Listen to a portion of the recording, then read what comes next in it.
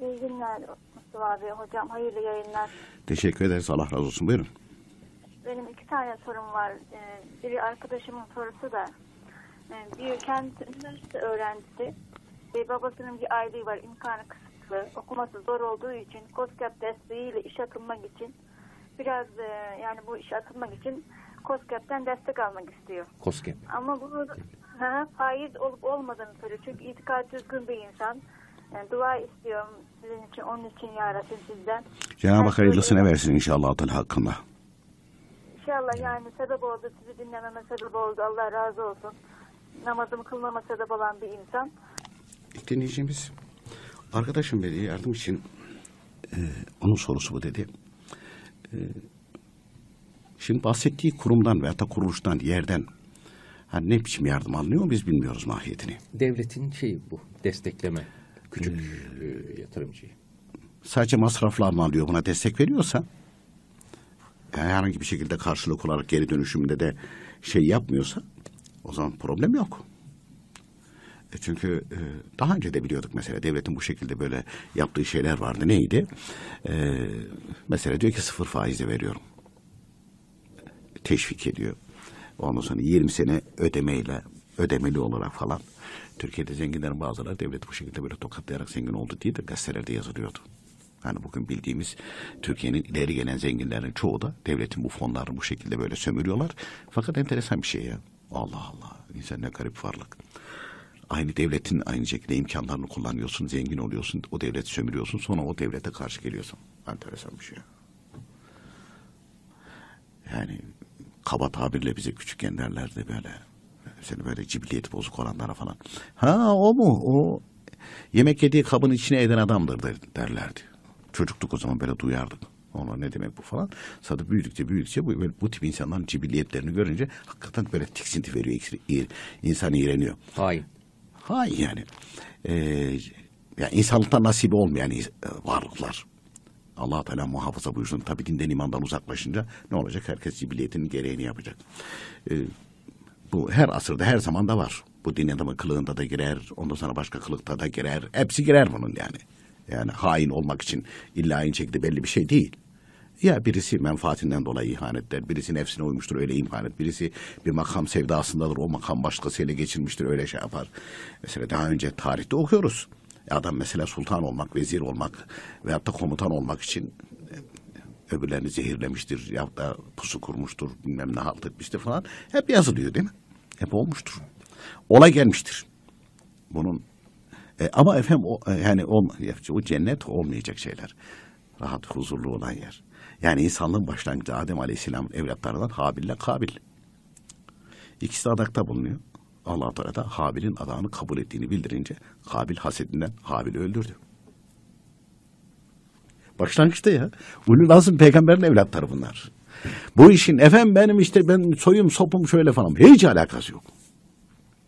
E soyun sopunsa işte Adem Aleyhisselam. Ulul lazım peygamber evlatları. İkisi de evladı yani. Birinci batın, ikinci batın da değil bunlar. Doğrudan tabii torun değil yani. Evet biz de Adem Aley- Aleyhisselam'ın evlatlarıyız ama onlar öz öz hayattayken bizzat babalarını gören kimseler. Ulul lazım peygamber Adem Aleyhisselam. E, Nuh Aleyhisselam dedi. Oğlu iman etmeli. Lut Aleyhisselam'ı hanımı iman etmeli. Yani kalkıp da efendim işte ben şöyle düzeldim. Yok ya böyle bir şey söz konusu değil. İnsan aciz bir varlıktır. Şeyde zaman zaman e, burada da veriyoruz o misali de e, böyle gençlere de veriyorum o misali. E şimdi dedim eskisi gibi değil. Bizim dedim lise yıllarında falan yoktu. Ne yoktu? Mesela astronomi dersi vardı. O astronomi dersinde uzay haritası yoktu bizde. Niye gözümün içine bakıyorsun? Nasıl, nasıl biliyordunuz? Nasıl görüyordunuz? Biz kalp gözüyle bakıyorduk. Görüyorduk tabii ya Rabbi ya. Haritaya gerek yokmuş yani. Haritaya gel. Bak tabii de görüyor. ne gözse. Ama şimdi o imkanlar daha geniş. Yani Mercim- insan Mercimek taneleriyle mi şey?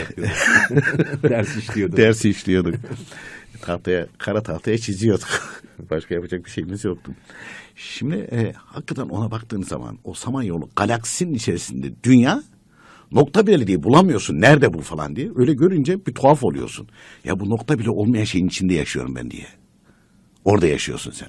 Bu da e, birinci kat semadaki galaksilerden sadece bir galaksinin içerisindeki varlığın bu. Samanyolu galaksisinin içerisindeki varlığın bu. Yani dünyanın varlığı bu. Öbür galaksileri de düşünce belki nokta bile koyamayacaklar. Sen var mısın yok musun falan diyecekler. Bir de mesela şeyde İmam Gazali Hazretleri'nin Dürretül Fahire kitabı var. Kıyamet ve Ahiret diye hakikat kitabı yayınlarında. Orada mesela mahşer günü anlatılırken İmam Gazali rahmetullahi teala aleyh Allah Teala emreder meleklerine e, cehennemi işte e, 70 bin halkası var. Bu halkalarından tutarak mahşerlerine doğru çekerler. Ve her bir halkasında 70 bin melek çeker. 70 bin halkası var. Her bir halkasında 70 bin melek. O 70 bin melekten bir halkadaki 70 bin melekten bir tanesinin parmağının ucuna dünyadaki bütün okyanusların hepsi koysan sığıyor.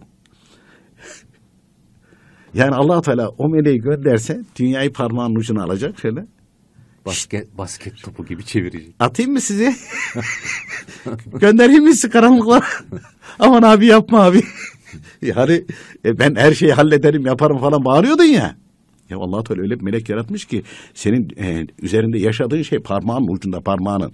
Yani, yani diyelim ki hani insan gibi düşünsen on parmağında on tane dünya. Dünya büyüklüğünde gezegen. Tamam? E, top gibi ya şey e, e, ne topu? Yani şu e, tenis topları var ya. Değil en, mi? En fazla. en fazla. Tenis topları gibi kucağına kaç tane öyle şey sığıyor onun. Dünya gibi e, küre. Arz küre sığıyor. Ya onları düşünce yani insan dehşete düşüyor. Hatta Cebrail Aleyhisselam yaratıldığı zaman e, mübarek işte e, 360 bin kanadı var diyorlar. Bütün kanatlarını açıyor semada şöyle bakıyor. Onlar da gurur kibir olmaz ama mahluktur yaratılış itibariyle. Gönlüne gelmiş. Acaba demiş Rabbim demiş benden daha büyük birisini yarattı mı diye. Hoş, e, gönlüne gelmiş. Allah Teala ya Cebrail falan yerde işte melek kulum var git ona selamımı söyle. O kadar kanadıyla gidiyor onun kulağına gidiyor.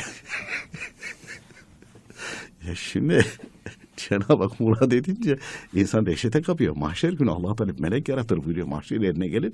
Ee, dünyada itikadı bozuk olanlar ve kafirler onu tanrı zannederler. Haşa ilah zannederlermiş. Secde etmeye kalkacaklarmış. Yani tabii bütün bunları niye anlatıyorsunuz falan e, diye hatıra gelebilir de e, ya insan e, bu alemin içerisinde hani bazen diyor işte allah Teala bunların cezasını niye vermiyor? Ya zaten yok ki bu alemin içerisinde zerre bile değilsin sen. Yaşadığın küre gözükmüyor zaten. Yeryüzü Samanyolu galaksisinde nokta. İkinci kat semanın yanında falan hiç yani esamesi bile okunmaz. Öyle bir şeysin. Onun içinde bir sinek vızıltısı bile değilsin. Bı bı bı bı bir şey diyorsun falan.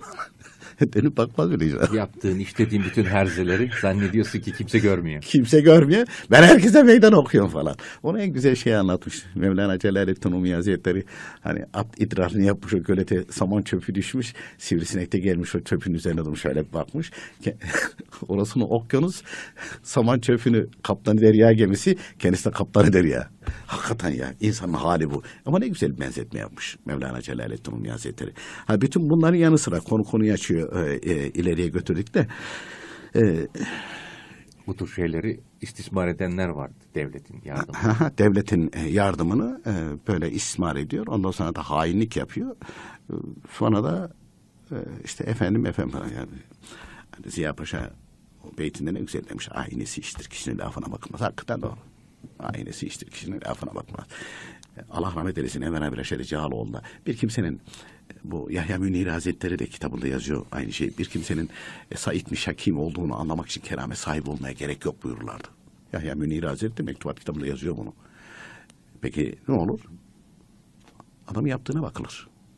Ha, bu Said'dir, bu Şeki'dir. Yani bu allah Teala'ya itaat ediyor. Bu da isyan ediyor, inkar ediyor. Yani illa aynı şekilde e, keramet sahibi olmaya, işte kalbine bakmaya falan gerek yok. Yaptığı işe bakılır. Ameline bakılır. İşte Ziya Paşa da ne güzel özetlemişti. Aynesi iştir kişinin.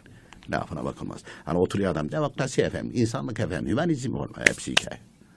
Sen ne yapıyorsun? O ona bakılır. Ona e, göre hareket edilir. Dolayısıyla e, hani devlet e, daha önce oradan çıktı geldi de böyle fonlar var. O şekilde ise sadece masraf alıyorsa kullanabilir onu. Çünkü e, orada müracaatı vardır, personel çalıştırıyor, belli bir masraf var. Bunlar masraf altında alınıyor. Ondan sonra verdiği parayı sonra tekrar belli bir zaman dilimi içerisinde geri ödemeli şekliyle alıyorsa mesele yok. Faizsiz borç veriyor bazen. Ha ha. O, Öyleyse borç yok.